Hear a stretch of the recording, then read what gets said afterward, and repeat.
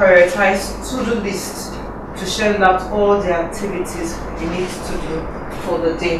What is said scheduling? Can somebody tell me what scheduling is? Friday, what scheduling? Schedule is planning. Scheduling is planning. Yeah. Okay. Plan your time. Charity. What is scheduling, Gabriel? Scheduling is the art of planning um, how to get up prioritize.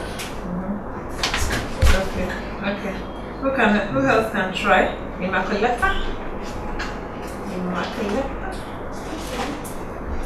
Scheduling is yeah planning and um, putting planning ahead um, for activities that are important to achieve and putting them putting them in a in a, in a coherent in a form that will be easily understood and access, accessible and Absolutely, yes. Yeah, no, that's good. It's not very good memory because we said that whatever tool you're going to use to schedule is something you should be able to use.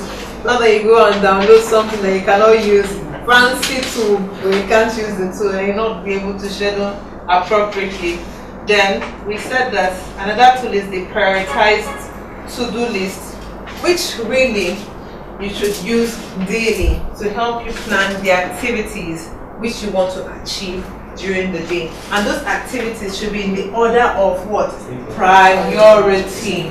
When we use the priority matrix, it will help us, you know, especially to do this particular task. Now, your task, you may want to put them in terms of priority A to F. A being the very important tasks. So those are the tasks that will help you, you meet your objective one as, um, as a staff employed to do a particular thing. For example, you're a salesperson I mentioned earlier on. You might want to put sales call as one of the priority tasks for the day. Um, cold call, you know, as another priority task. Um, sending out letters to customers as a priority task because they all help you meet your objective as a sales person. So whatever task is important to you, you might want to put that on the top of your list of your, your to-do list. So the, the question I want to ask on this, is it based on official work or your own, when looking at this priority to-do? Are you looking at maybe from an official angle or your own personal task? Uh, can, well, basically, this is for an office setting. When you're in the office, you want to do that. But if you're at home and you need to organize yourself, you may just want to okay, what do I have to do today? Because I also do that too at home. You know, um, sometimes it's mental at home, but sometimes I need to write, just scribble something down what I need to do. Wake up in the morning, chose first, go to the market, what am I going to buy? And I write it behind the list. So I know all the tasks I need to do. Then maybe ironing and all that thing. So I also use priority, I'm sorry, the prioritized to-do list to personalize myself. So you can use this under what situation, but if you're in the office, you can also use this, you know, to kind of itemize what you need to do and be effective at work. So um, when we when we go on, we'll use that. I just needed to give you that so that um, you can take a look at what um, these are. So it's important for you to know which tasks are important. So let's look at um, some time management strategies.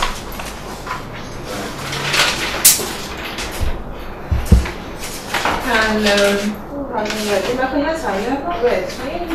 please? Um, time management strategies. These are strategies or techniques that, if applied, will increase your time management skills. Mm-hmm. Below are easy tips that will help you. One, Have a clear vision and set goals. You must have reasons for carrying out the tasks you wish to accomplish. Have a clear vision of what you want to achieve and set smart goals towards achieving them. This will require discipline and commitment from your part. Thank you very much. Can you now explain what you've read?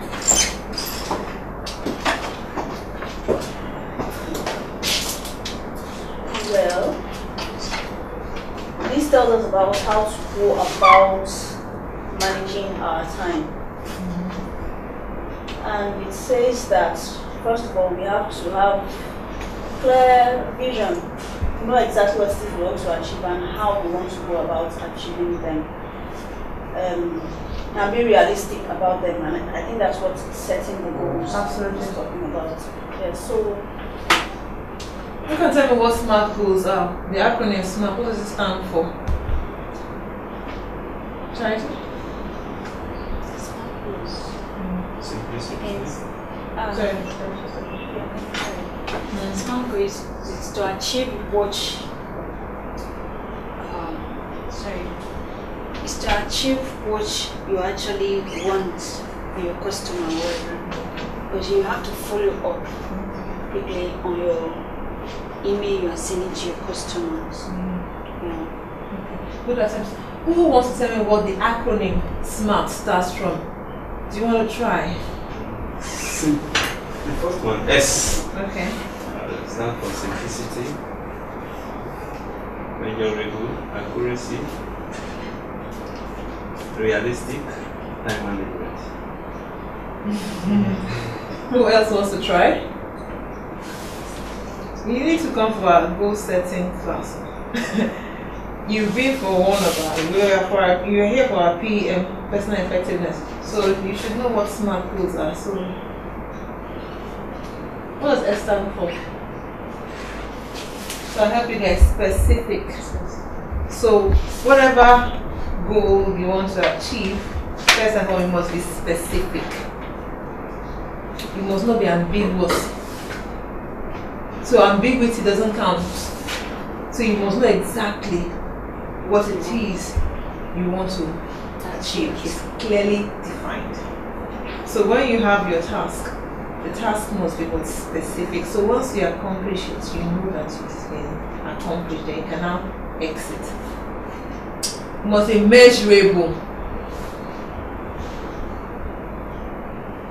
Who knows? Who, what, you understand what it means by being measurable? You can measure it so that when you achieve it, you can, you know, it's quantifiable in other words. Then it must not be over ambitious. A is a word achievable. You know, you mentioned earlier on that some people have a to-do list. The to-do list is just tasks I cannot accomplish. Just put everything together. So, but it must be achievable. Else, it's not a goal. They're realistic. T, there is time bound. So you must have a time that you must accomplish a specific task. So first and foremost, in time management strategies, you must have a clear vision. What is it that you want to achieve? Set the goal. Using this acronym, SMART, specific, measurable, achievable, realistic, and time bound. So if you know that the goal you set, it has a time limit, it is realistic, it can be achieved within the time we have set it. It's measurable and it's specific. You know that you set smart something you can achieve. Um, another strategy I mentioned previously is to block out time to achieve it. Um, hold on, do you want to read this for us, please? Time management strategies. Two. Block out time to accomplish certain tasks. lock out certain minutes or hours of uninterrupted time to achieve certain tasks, especially important and urgent tasks. Place blocks of time for difficult tasks that require most concentration during the time of the day. You are most active and alert. When that some people are morning people while others are night. Okay. I'm a night person. I want I was confident. I wa- I wanted to ask that question because kind of state I have is most times even people wake up and like ah what are you doing in the night? I'm a night person. Mm-hmm. I think this year mostly I'm doing a night person. So I've, I've been wanting to ask where do I come in all of this? Mm-hmm. So that's the time the kids are sleeping. Mm-hmm. That night I do laundry, I do a lot of things in the night. Most times if I sleep it's late. So how do I get to most times I just wake up and I start doing them. That's fantastic. It's, it's important, we mentioned earlier in the class, know when you are alert. If I get a normal 8 hour sleep, I wake up in the morning, I'm very alert. There's sometimes in the night, I, in fact, I find that some more nights I'm more alert, hmm. you know. So I want to keep very important tasks for when my energy is peak and I will do those things. So first of all, you must identify the kind of person you are. Are you a morning person? If you're a morning person, please keep very important tasks that time. We want we are talking about improving our efficiency and productivity what at work. Whether it's your personal life or work life. You want to um, uh, make sure that the quality of work you do is high. So you want to keep it for when you're most alert. If, for example, being a mom, you're going back to school and you have some tasks to do, maybe you have some reading to do, you need a time, an uninterrupted block of time which you set aside to accomplish that task of reading or doing your thesis, some aspect of your thesis. So you might, okay, the kids are sleeping. So from 11 p.m. to 3 p.m. I'm active. That's when you want to carry out your very important task and you accomplish that task. So your the hour is defined. You've chosen a specific time. What do you want to accomplish during that hour? You must be specific. You must be realistic. So let's say you want to read um, 30 pages of a particular book. So it's measurable. So within three or four hours, you must have read 30 pages of that particular book. So if you fall short of 10 pages, you know that you're falling short. That you have to make up that 10 pages some other time later. So that's how you can set smart goals. It could be your own work. You can also break down your work into bits like that you can measure. So if you're not able to achieve what you have set out, you can now look another time of the day where you can make up for that. So get away from distractions. Esther, can you read this for us, please? Um, get away from distractions. You can use a quiet office space where distractions can be eliminated. If you're not able to do so, inform your boss or colleague that you will need some time to accomplish some certain tasks and work towards using that time judiciously. Switch off your phone, turn off your email. And your television as well. For those who are so, you know, blessed to have television in their office, offices, or even at home soon. TV is a big distraction for me. So if I need to do some washing, you understand, I will not please put Zee World. I will put. I will put Telemundo. I won't even try it because that will go my day. I won't do nothing. So we need to know what our time wasters are. You know, I need to just avoid them because we are what human beings. We are mere mortals. We are not, you know, Almighty God. You know, so we need to know what our distractions are. Keep away from it. Tell people around us, look, we are going to be busy for this specific period of time, and um, turn off your social media. Switch off your data so that you're not getting alerts and you not see a beautiful picture of your friends. Oh, what's happening? you start looking at all the pictures, and it can be a hundred and one pictures. That if you have a friend like one of my friends who her job is to take pictures everywhere she goes, and you'll be so fascinated. I have this deadline. Ah, This picture looks good. You know what's happening, you're looking at a hundred pictures, and you would take it like one hour. So we really need to get away from whatever your distractions are. Take an office space. Do you do we have um, um, quiet spaces we can work your office, do you have a place you can go to to work? You want to, uh, um, Gabriel, do you have, who has some secret place you can go to to work? You might want to find a special place that you do not want distraction, but you must let people know in your office that that's where you will be trying to achieve so so and so time. Please, sorry, I, I want to bring your attention to something you said previously. You talked about identifying what part of the day uh, do we perform optimally. Mm. Now, the the assumption is that you have the luxury mm. of actually choosing your work to when to do your work. For some for some people who do not have that luxury, yet you have important things to do mm. at a particular time that does not align with that Your your own personal time. So, for example, in the morning, there are some very priority work you need to do and later. But yet, that morning, you are not a morning person. What practical tips can you give such person as a coping mechanism, even Okay. though this is not my priority but yet I have Thank you very much for that. For me as a person, I was always refer to the tips that I used to overcome some of those things. Um, I realized that I wasn't a morning person, and it was as a result of my lifestyle. so I found out that um, because I'm very active at night, I don't sleep early. Is that it's like I become like an owl at night, you know, energy just bursts from nowhere. and I start doing tasks like, you know, somebody is sending me, you know, to do this task. Go to gym in the evening, you know, I work out.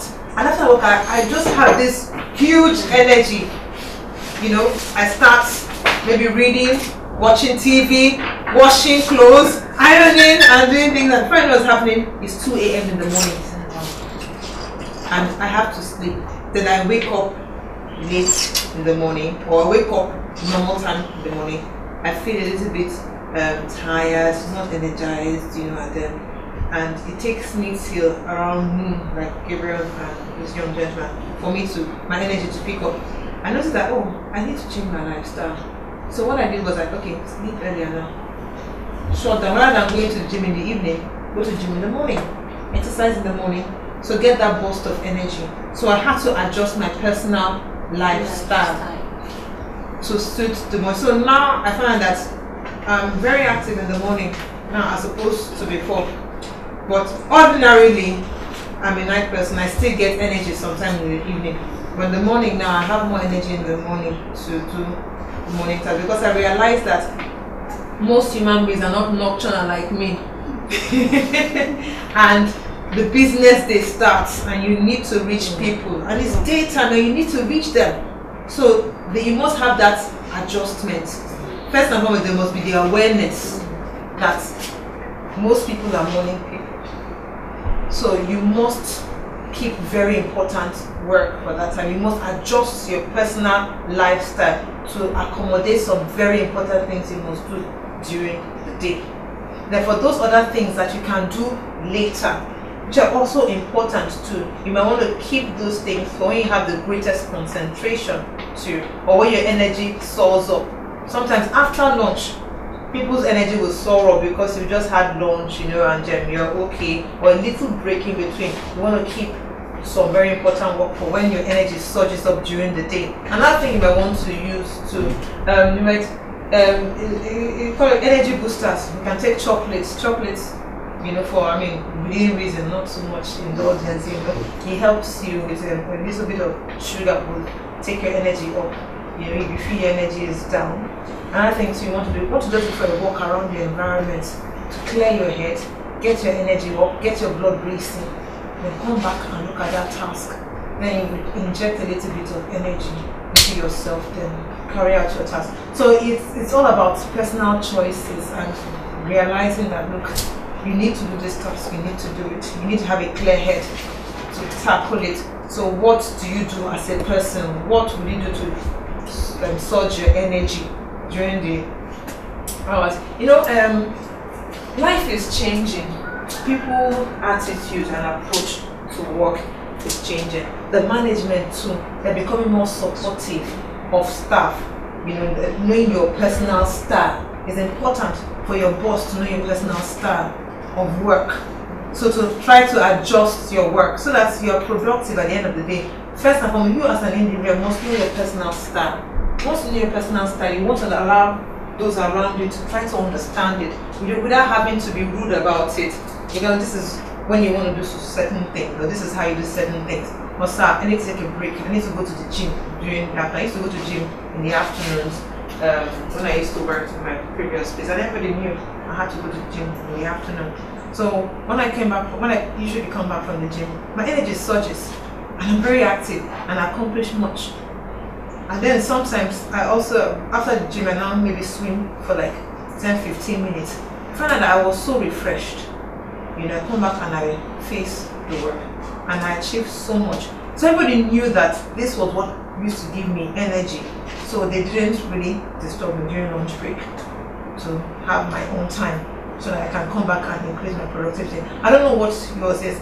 Many organizations they understand now that um, your personal life is important to help you to increase your productivity. So they will do everything possible to assist you, to support you, to ensure that first and foremost those personal things are met, like having your health taken care of, HMO, by being a member of the gym or a social club, having a social life and stuff like that. That will also help you too. So you can also try to schedule these things to into your work. I know some organization, if you do not take your leave in a year, you could be fired. It's important for you to take your leave, go and refresh. Go and refresh yourself. So you put that also. Then like some organization they take it very seriously, your personal development. That forms part of your appraisal. How many courses did you go for this year? What did you learn? Have you improved as a person? You put that in your own schedule, your own personal schedule. Whether weekly, monthly, monthly goals, you break them down to accomplish them. So, I mean, I don't know if that answers your question. Yeah.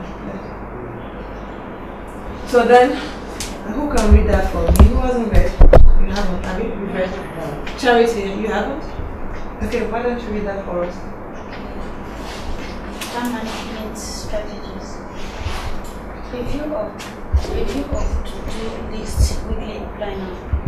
We could recommend your view. We could, sorry, we could recommend you review your your to-do your list weekly planner at the end of your at the end of each week each working working days a week and strike off tasks that have been accomplished. Thank you. That's it. So we've just looked at our to-do list, which we'll have a go at, and our weekly planner. Whether we're using any of the tools, whether it's your Google Calendar, your Outlook, whatever it is, you want to look through. So I, I will recommend that you review your to-do list at the end of the day. what have I achieved? What have I not achieved? Strike them out. Chop, chop, chop. You know, those ones that you've not finished, carry them to the next day. As the next day comes, you want to review your your list according to priority. The tasks that have been left undone, like I said, should be carried over to the following day and may be put as priority on the list. Or you might put it on the priority of that particular day. Now, five, postpone unnecessary activities. Activities that will not help you achieve your objective. You might just want to postpone them for later. Or you can totally eliminate all those time wasting activities which we have um, done, which we've mentioned previously, like um, we said. We've identified some um, um, distractions or interruptions at work. You mentioned television. Um, what is yours? You didn't mention yours. Mine is actually um, social media. Social media. So And the one, phone entirely. so if you're very busy, you want to put your phone in your pocket or you just want to put it somewhere. Just switch it off and just.